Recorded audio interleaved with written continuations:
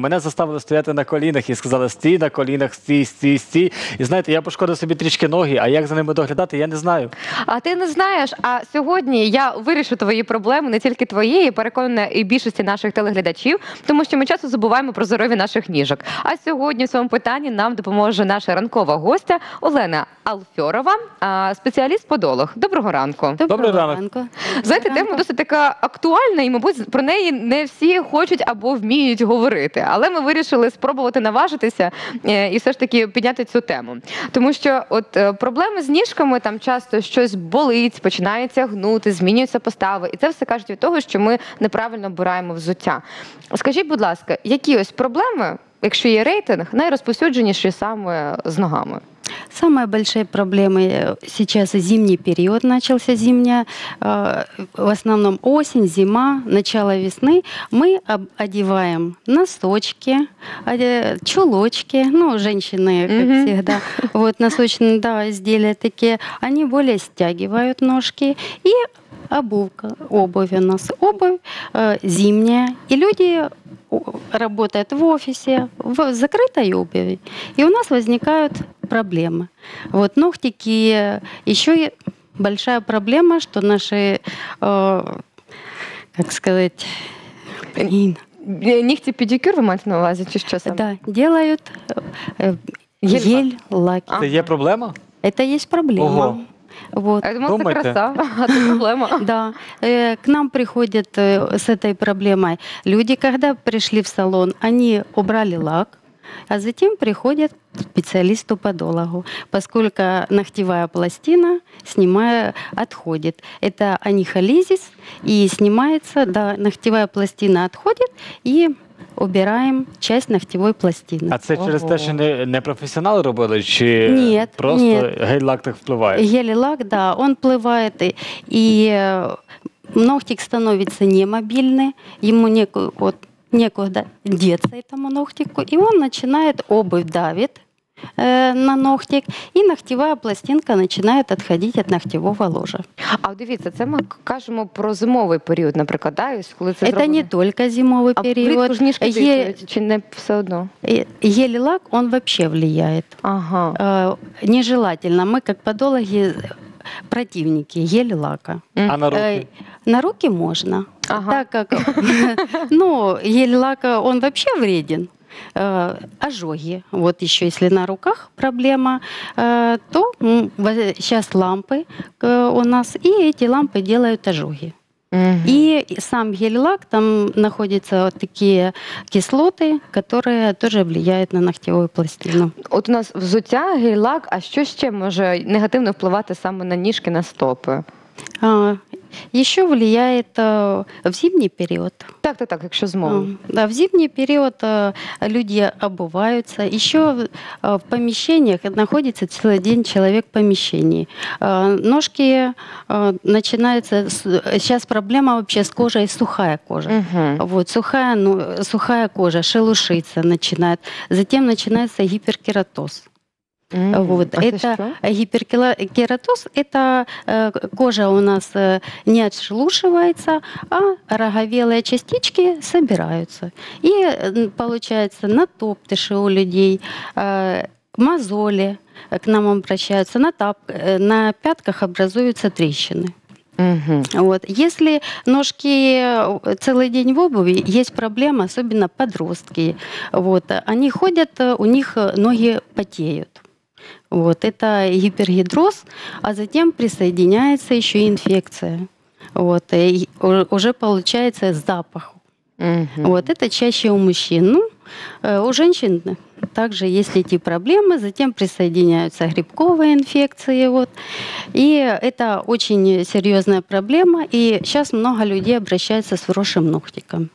Это также влияет и обувь, ну, обувь, в которой мы ходим э, целый день, э, и э, узкая обувь, неправильно подобранная обувь. Сейчас люди переобулись, вот, и ходят в этой обуви. Нужно иметь обязательно две пары как минимум обуви. Це на Це зимовий період? типу, чи Нет, вот вообще хотя бы иметь две пары хорошей обуви. И желательно, чтобы вынималась стелька. Вот, нужно ухаживать за обувью. э, и за ногами, и за обувью. Вот. И когда вы имеете две пары обуви, одну пару мы должны хорошо просушить, проветрить, вот, э, стелечку обязательно. И если проблемы особенно ножки потеют, то нужно обязательно обрабатывать эту обувь. Для этого существуют и, дезодоранты, вот, и, и присыпки есть, которыми обрабатываются стелечки, ну, обувь внутри. Раз в неделю нужно обрабатывать. А есть такие э, специально, знаете, сушить. Ну, такие Мгм, э, сушечки. Сушки-то. А есть с ультрафиолетом сушки. Вот, да. И Ну, які эти- краще тоді виходить? Э, Ультрафиолет, э, он э, Бывает? убивает бактерии. Ага. Вот, особенно у кого. Ну, вообще это желательно всем. Вот, э, пришел обувь и вставил туда, и они дезинфицируются. Так сказати, кварцування, так? Ну да. А Вот. якщо вже є якісь проблеми із е, захворюваннями ніг, е, як потрібно лікувати? А, Люди начинают, вот вырастает ногтик, они начинают, люди не умеют правильно обрезать ногтик. О, Ну, да. Вначале э, и обращаются э, уже к подологу, когда уже воспаление. Вот. э, Ногтик правильно обрезать ровно. Нельзя скруглять углы. Это обязательно. Это в первую очередь. Особенно подростки или кто, у кого какая-то проблемка возникает, начинают сами резать себе уголки. Э, И человек обрезает часть, а он не видит. Есть подногтевые мозольчики. Там нарастает кожица, вот, и образуется шип. мгм. Ну, и человек э, ходит, и получается у него воспаление. Так. Вот. Перше, це зобр- е, обрізання ніг, це ми зрозуміли. Да. Проблема. Друга, наприклад, проблема. Или яка? люди еще не обрезают э, ногтики, ходят, вот, знаете, ногтевая пластина отрастает, отрастает, и получается травма ногтя. Вот. А когда образуется травма ногтика, э, может и образоваться и подногтевая гематома, и анихолизис также, а затем присоединяются и грибковые инфекции. А від чого виникають такі, знаєте, сухі мозолі? Типу, знаєте, то що вони, е, я не знаю, як це пояснити. От Да. є сухі, поняття сухий мозоль. І за чого? Чому? Это сухой, это твердые мозоли. Есть твердые, мягкие мозоли. Сейчас кожа вот сохнет у людей, э, сухая кожа. Из-за этого образуются ороговелости. А Это трение обуви и, и сжатие обуви. Ну, мы находимся. Э, На подошве образуется гиперкератоз, или, либо трещинки образуются на пятке, а на плюсневой части у нас образуется э, вначале натоптыш, а кожа не успевает отшелушиться, и затем образуется, как сейчас в народе говорят, стержневой мозоль. Вот. Это твердый мозоль. Они еще образовываются между пальчиками. Если сухая кожа, он- она ороговела, э, человеку больно ходить. Вот. Затем образуется, есть такие моз... этот мозольчик и э, второй пальчик, они как поцелуйчики, знаете, да, эти мозольчики между собой трутся, вот, и образуется уже два мозольчика, вот. И еще, если биомеханика стопы у нас страдает, очень страдает, это сейчас, можно сказать, практически э, все люди страдают у нас э, проблемой э, деформация пальцев и стопы. А чому це відбувається? Як от нам зробити так, щоб, умовно кажучи, там в 30, не знаю, скільки там може років, не було цього? Сейчас виновата у нас в первую очередь это обувь. Ага. Вот, э, многие люди от профессии зависит. Э, Сиденье офисы, это не так, э, в общем, сидячая работа, как говорится, э, не лучше, чем простоять целый день на ногах.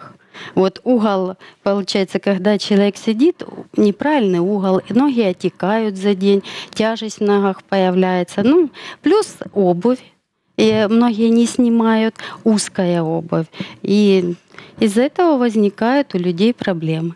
А якщо І що? от е, є отечності, ось е, ноги втомилися, масаж ніг, якщо зробити, це допомагає чи ні? Масса... Вообще массаж э, очень хорошо.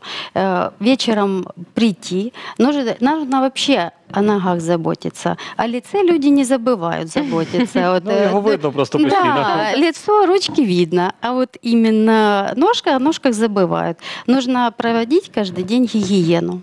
Вот. Обязательно мыть ножки и обязательно э, ножки помыть. Если сухая кожа, то надо отшелушивать э, эти частички, которые... цими такими камінчиками, Э? Те, що- Нет, не Да. каминчиком. э, Это брать э, щеточка. Вот, на- можно наносить даже пену для бритья. Да. У мене немає. Не дивись тебе. Я не можу забрати перед. Вот. И пенкой для бритья можно или специализированным, можно покупать специальные гели, либо гель для душа. Вот. И на щеточкой э, мыть ножку. Это будет и массаж, вот. Если голень, то нужно аккуратненько, ну, шелушение есть у людей, аккуратненько щеточкой провести, это тоже так же будет, как и массаж. Вот. Затем нужно обязательно хорошо вытирать ноги и между ног обязательно тоже нужно вытирать. Об этом многие забывают. И если есть полные люди, вот, или пожилые, ну, можно применять фен, просушить между ножками, либо вкладывать салфеточки. Вот. Мгм. Э, И затем, как зимой, сейчас сухо, сухая кожа, нужно нанести обязательно питательный крем. Питательный крем хорошо, когда там входит ланолин, э, вот, масла, облепихи, более жирные, витамин А, Е. Вот, и можно обильненько наносить на ножки и одевать хбшные носочки, ну, так как он жирный. Если потливость ног, то лучше принимать э, не горячую воду мыть ноги, а именно такой прохладной водой. Не очень холодной, потому что э, Так сказати, можно не... М? Кажуть, літня така вода. Да, ледней водой, потому что если помыть холодной водой, человек может плохо просто спать.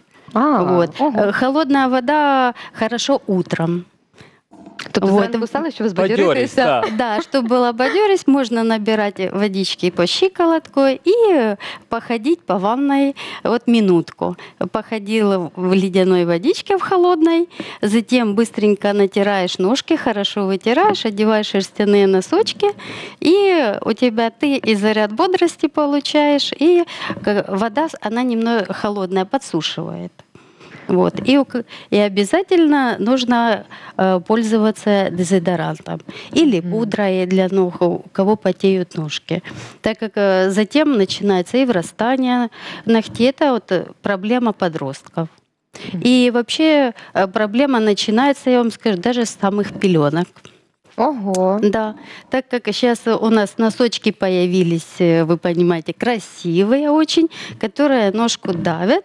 И, а, у, а у деток ножки, эти ногтики, они растут очень быстро, они очень тоненькие. И когда одевают родители носочки или пеленают там, или что, э, ногтевая пластиночка, она начинает врастать. Ого. Да, это проблема такая, э, сталкиваемся с такой проблемой. Раньше такой проблемы не встречалось особо, а вот сейчас в связи с нашими новыми носочками такие проблемы встречаются. Ну і на От. завершення хочеться е, запитати, можливо, є якісь певні поради для тих людей, які втомлюють ноги, е, прийшли, е, що зробити вдома. Ось там, можливо, якісь ванночки, соляні і тому подібне. В- в- м, Ванночки можно делать, если ну, приходишь домой, естественно, если человек приходил в обуви, на каблуках Ну, особенно, багато ходять. Тя- да, полы- тяжесть в ногах. Можно сделать э, ванночку с морской солью. Э, морскую соль э, можно добавить масло. Только нужно капать масло, и либо купить специализированную соль, Мгм. уже продается с маслами, либо можно самому э, это сделать. Даже если нет морской соли, можно взять поваренную соль. Э, Берется 3 литра водички, но вода не должна быть горячая. Вот, э, где-то 37-40 градусов. Вот. И капается в соль несколько капель. Можно взять витамин Е, капнуть прямо в соль и опустить ножки. І скільки М. так посидіти? Э, 10 минут. Э, Больше, э, вот именно э, пересушивать ноги не нужно. 10 минут этого достаточно А будет. Затем ножки э, вытираешь и делая, берешь э, крем или масло для ног и делаешь массаж. Массаж нужно делать от э, пальчиков и подниматься до колена, э, как отток крови, Мгм. что был, и отток лимфы. Слухайте, Вот. Но э, если идти к специалисту по массажу, тут надо, если проблемы с венами, тут уже нужно обращаться к специалистам, чтобы он подтвердил, что можно делать массаж. Мені вже зранку хочеться прокидатися з холодною водою і ввечері сьогодні зробити ось цю ванночку з масажем. Е, Як мінімум можна взяти морської солі, сісти собі, почитати газетку, поки ноги там відпарюються. Ось, а, потім е, обов'язково е, натрати всякими кремами для того, щоб не було пересушення. Це дуже важливо. Не всякими, а зволожуючими з вітамінкою. Дівчата краще про це знають. Ось.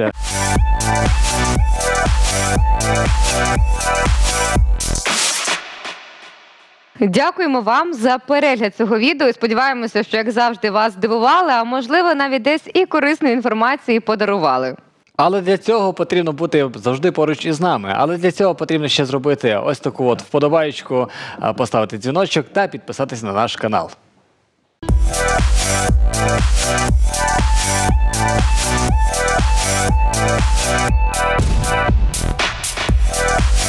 be right back. We'll